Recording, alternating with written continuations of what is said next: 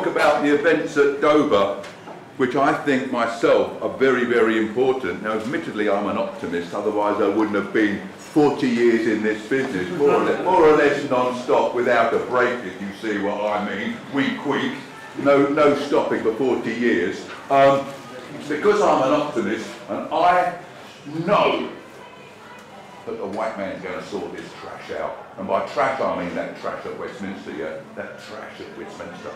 However, before I talk about Dover, I would like to say how pleased I was and how proud I was to take part in this demonstration last month at Trafalgar Square, just beside St Martin's uh, in the Field Church, to mark and commemorate the bloody murder of British soldiers and British officials committed by Jewish Zionist terrorists um, at the end of the Second World War. Um, this magazine here, which I've got a copy of, Heritage and Destiny, Destiny gives a, an account of our excellent um, demonstration at Trafalgar Square. Then there was a meeting afterwards. I know that a lot of you were there, and I was very pleased. It was a, it was a, an idea of genius, I would say, to go back to those events and to remind everybody that the state of Israel was born in the blood of British soldiers. And that's all been whitewashed by, whitewashed by the, the trash and traitors who run this country. But I will tell you, one of our roles in this business is to be the conscience and the voice of the people. And although they keep slapping us down, one thinks of the little boy in uh, Hans Christian Andersen's story, the king, the emperor with no clothes, right? But mummy, the king's got no clothes on. Quiet, Johnny. But mummy, quiet, Johnny. Poor little devil was slapped round the ear hole, but eventually everybody takes it up. And I see that as our role. The role of the little boy just speaking the truth, which is obvious to everybody, but nobody says it. So, I will say this demonstration that we organised, that some an idea of genius which we implemented by supporting it, that there's absolutely no reason why we should be in awe of the Jews, and the fact is we owe the Jews nothing. Yeah, yeah. And that was the basis.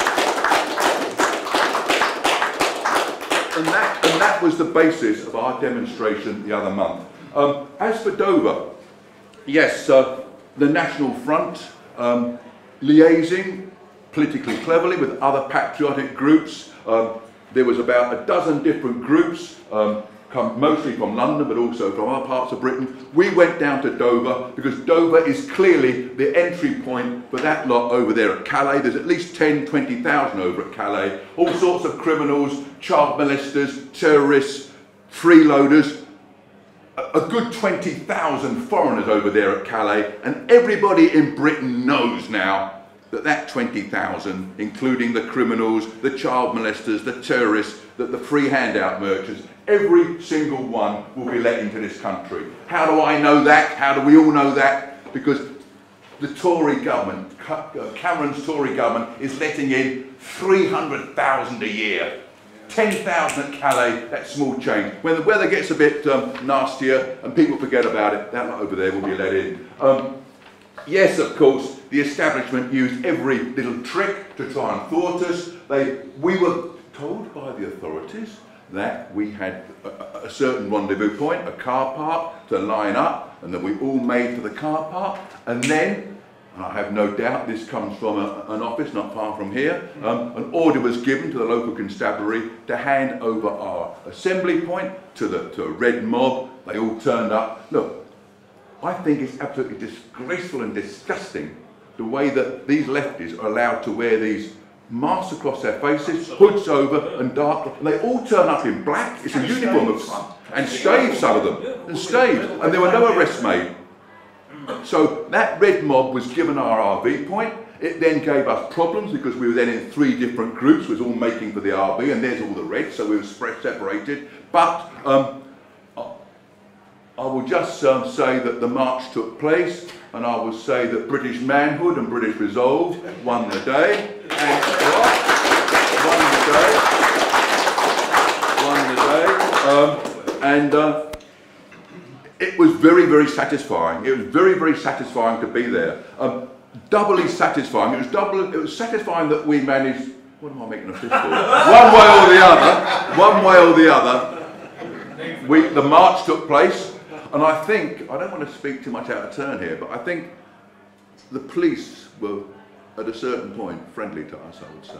I think the police on the ground looked at the red mob, all masked up like gangsters, bank robbers.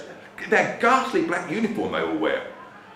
All with scarves across their faces, hoods right down, dark glasses, the whole lot of them.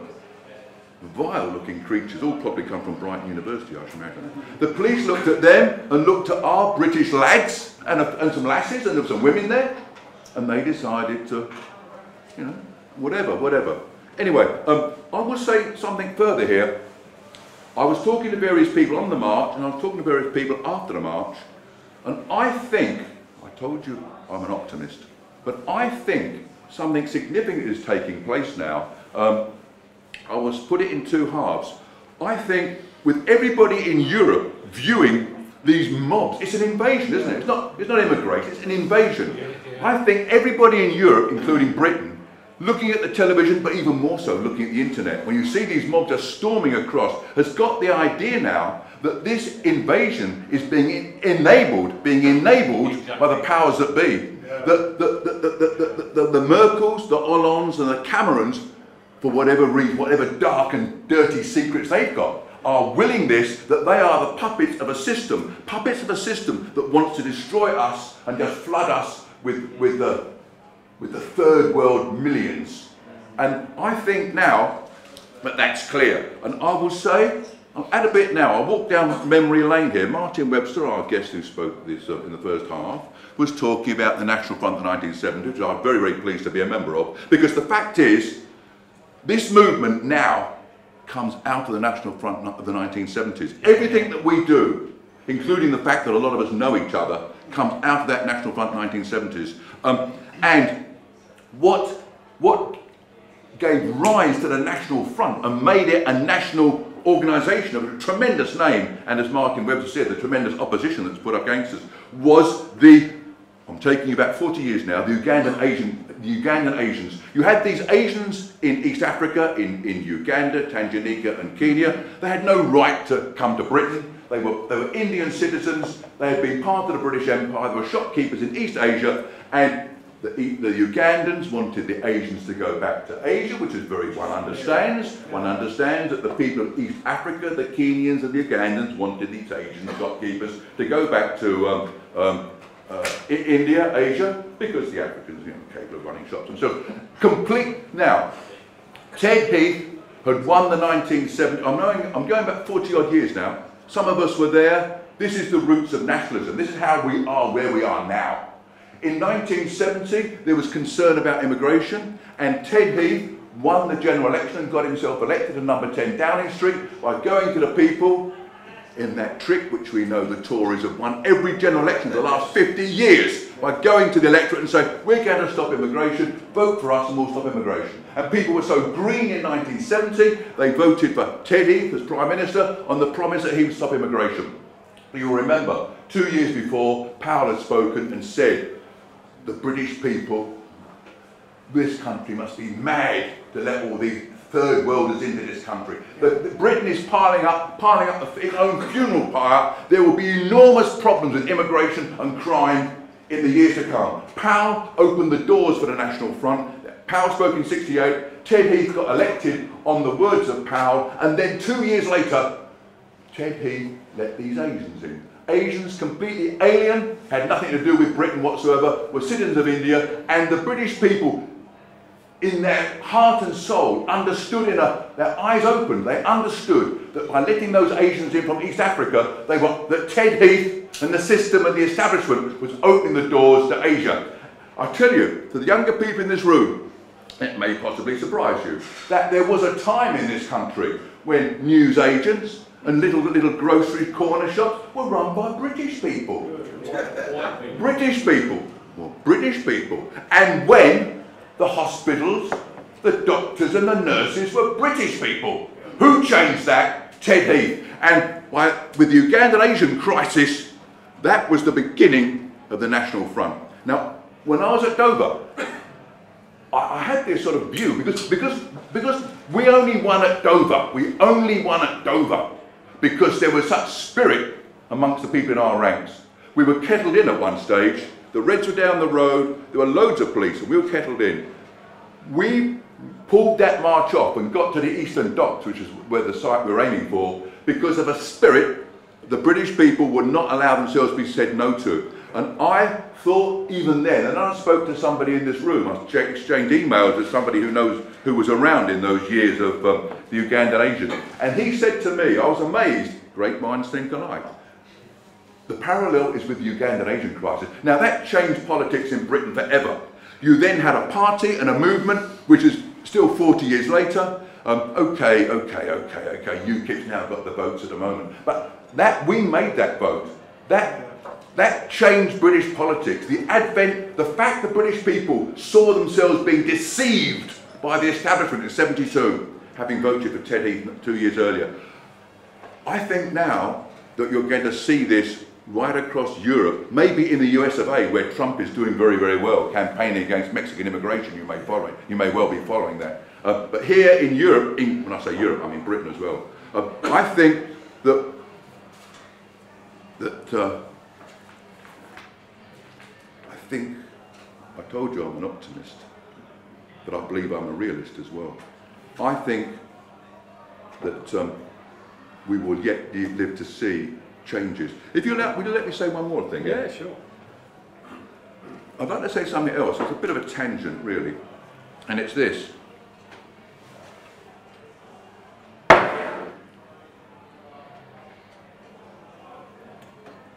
I'm in contact with Germany. I was in Germany like last week. Uh, two days ago, I was in Dover. The week before that, I was haranguing the masses of um, Eastern Germany. Blimey, do I get around? All in German, of course. All in German, as one does, of course. One likes to, you know. Audience is always right. Anyway, anyway, I'm in contact with these German nationalists who are no fools, and I'm saying to them because I'm trying to educate them. Actually, they're a bit depressed, understandably. I said, look. You don't want this refugee problem. Merkel talked about having a million in. She then watered it down to 800,000. You don't. There, there are, you travel on public transport in Germany. There are arrogant foreigners everywhere. Do they give it the big one as they walk down the train? Do they give it the big one? Um, anyway, I said to these German nationalists, you're concerned about this, this immigration problem, these refugees. What? Refugees, I said. Refugees are caused by wars. It's war. Wars cause, cause refugees. These wars that these refugees are fleeing, look, I'm looking at it from a lefty liberal point of view. You've got to do that. You've got to think, how can you talk to these daft, sentimental, brainwashed millions outside this wonderful room of our wonderful selves, right? How can you get through to these people? They're sentimental and all the rest of it. So I said to my German nationalists, what you've got to do is Refugees are caused by wars. Who causes all these wars? Who causes the, the, ongoing war in Syria? Who's destroyed Iraq? Who's destroyed Libya? Not least the dangerous war in Ukraine. I said, wars are caused by refugees are caused by wars. Wars are caused by NATO and the Americans. And the fact is, I'm going to conclude now. We all know, since we're all right wingers and nationalists, that all those governments in Eastern Europe were propped up, the communist government of East Germany, Poland, Hungary were propped up by the Red Army. Who props up this crowd of creeps and traitors over here? Who, crops, who props up Merkel, Hollande and Cameron? The United States.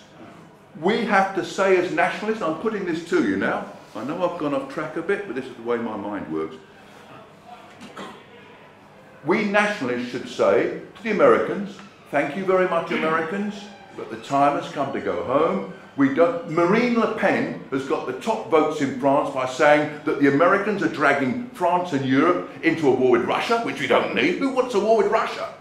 The Americans might, if they want to snooker our little game, but nobody in, nobody, none of us should want a war with Russia. And Marine Le Pen is leading the way by saying that. And we should lead the, lead the, you haven't got to be rude to the Americans, just say, thank you very much, we don't need. One other thing, the name John Tyndall's been mentioned this now. Mm-hmm, we're all entitled to our opinions, but I'd just like to remind you one of the things that John Tyndall said. Back in 1986, when Maggie Thatcher was Prime Minister, she brought out an Act of Parliament in 1986 that said that in an emergency, which they never define, of course, in an emergency, the American armed forces in this country can play a key role in, uh, in making sure that certain facilities, telephone exchanges, BBC, are guarded from a possible insurrectional mob. Now, there were two people who spoke up against this. One was from the left was Tony Benn, who said what Maggie Thatcher means is, is that when we left-wingers come to power, the American army is here to stop the takeover. And the other man who said it in his wonderful magazine, which wonderful magazine, we've heard the very beginnings of the magazine, um, wonderful magazine. Um, John Tyndall said in Spearhead in 1986, that's aimed at us. When us nationalists come to power, the American army is there to thwart us. Look, no self-respecting nation allows foreign troops. Those bases are regarded as American sovereign territory. You can't go on them without their permission. Lakenheath and all this. So, listen, as the Chinese in their wisdom say, we live in interesting times. Stick with it, friends. Stick with it. Thank you very much.